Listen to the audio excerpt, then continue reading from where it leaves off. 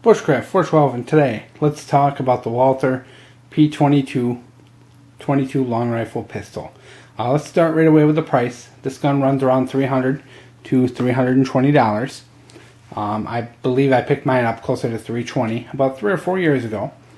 It comes in this version right here, which is the uh, 3 inch barrel, and it also comes in a 5 inch barrel. And there's also a kit to change between so if you do have the 3 inch, you can upgrade to the 5. 5, you can downgrade to the 3 and vice versa. Neat little idea. Um, I like the 3, no interest in the 5, but I know the kit to change it over is in the neighborhood of like $100, $120. Um, as I said, this is a 22 long rifle. Um, this particular gun is not very picky when it comes to ammunition. It really loves uh, CCI mini mags, but I've never had much problem with reliability. Um, I've got about 6,000 rounds to this, and I've had maybe six or seven stovepipes. Um, I guess there were some issues with the P22 before, and there was a little bit of a redesign. And since the redesign, I guess the reliability has gotten a lot better. Uh, but I am aware there's a lot of old videos and old reviews out there where these things just used to be jam-o-matics uh, back in the day. Um, but luckily for me, not with this one, very reliable.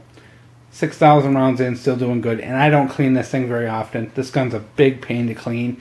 So I only clean it maybe every 500, 600 rounds or so. I don't clean it every time I go to the range. Uh, this is my favorite gun to bring to the range, by the way. I bring it with me every time I go. And I always fire off 50 or 100 rounds with this thing every time I go. Uh, this helps me keep fresh with my other guns, work on my marksmanship, and keep up to date. Because I don't always have the money to go and fire off 50 or 109 millimeters. So I try and bring this every chance I can and fire it because it's cheap and I can 15 bucks worth of ammo will last me, you know, a whole bunch of trips to the range. Uh, with that said, you know, of course, this gun is a great trainer, great gun to work with on a, on a daily basis to work on your marksmanship. Um, I also carry this gun concealed a lot. Um, typically, mostly only in the evenings. I'm not allowed to carry for work. So if I am out and about, I do carry this gun concealed. Um, not the most comfortable to carry concealed, but I'm only carrying it for a couple hours, so it's fine for me. Um, going with that, with the carry concealed, let's move into next the safety features of this gun. Um, before we do that, we're going to safety check. You should always safety check every gun when you handle it. No matter what, always a good safe practice. Uh, magazine releases in the trigger, which I don't really care for. See if we can show you that. But down there, it's nice because it's ambidextrous. You can hit it with either hand. But I don't like being that close to the trigger when I'm trying to drop the mag. Uh, one of the neat safety features of this gun is you cannot pull the trigger without a magazine in. Very nice. Um, this gun acts as single or double action. So that's a big bonus for me because I do like, you know, every once in a while, especially when I'm backpacking, to carry one in the chamber with the safety on and the hammer down. So then you just have that double action long draw on that first shot. Just flip the safety, ready to go. Safety is ambidextrous, both sides, just like the uh, mag release, which is very nice. I do appreciate being a lefty having ambidextrous features on a gun. Um, the grip has a replaceable piece on the end. Um, we'll see if you can see that. There you go. You can see this little piece here. There's a bit of a ridge on there. Focus. Bit of a ridge there. You can replace out this back piece. And uh, replace out the back piece and uh, for if you don't like the grip. Mine's just fine with me, so I have no problems with that. Grip wise, as you can see, you can get two fingers on there. That's about it. Um, with the magazine in, I can kind of rest that on the mag. Feels good in the hand. Accuracy is pretty fair. Um, I'm not the greatest pistol shooter on earth, but good accuracy. Nice clear sight picture.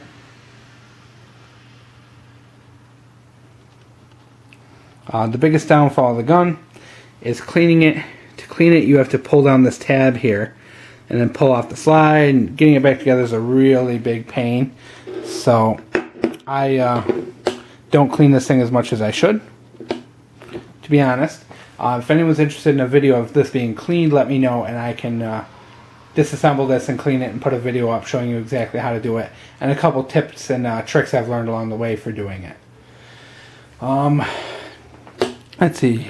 Oh, since we're on the topic as well, well, not that we're on the topic, but these things kind of float in and out as I'm doing these.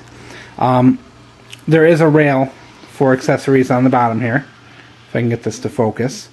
Um, believe it's Picatinny but it will uh, let you put flashlights and lasers and things like that on there right here on the bottom so it does come with that incorporated rail which is another nice bonus not for me I'm not big into lasers and lights but the option's there if you want it just like you also have the option for the longer barrel. Um, I particularly like I said before my review is I love this little pistol. I fire it all the time. It's very reliable for me. Um, I know the older ones have problems, but you know, I guess that's all in the past now. So, I mean, I definitely recommend if you're looking for a trainer, I think this is a great gun um, to get out and shoot and shoot on a regular basis because you can put 100, 200 rounds to this for cheap. Work on your marksmanship, work on your aim, work on your grip, work on your handling, your safety, all that stuff. Uh, I'm a firm believer in, you know, if you can't go out and shoot your 9mm or your 40 or your 45 as much as you like you just don't have the cash for the bullets bring out your 22 and fire your 22 it helps keep you fresh keeps you on target um, I mean with that said there's a lot of other 22s that'll do the same thing you know in the same price range but this is one I like because I can also carry it concealed um, size wise it's right around the same size as a lot of uh, larger caliber pistols so it gets you in that habit of carrying a, a pistol this size as opposed to some of the really small 22s out there. And that's it for this review. I hope you enjoyed the video, and uh, that's it.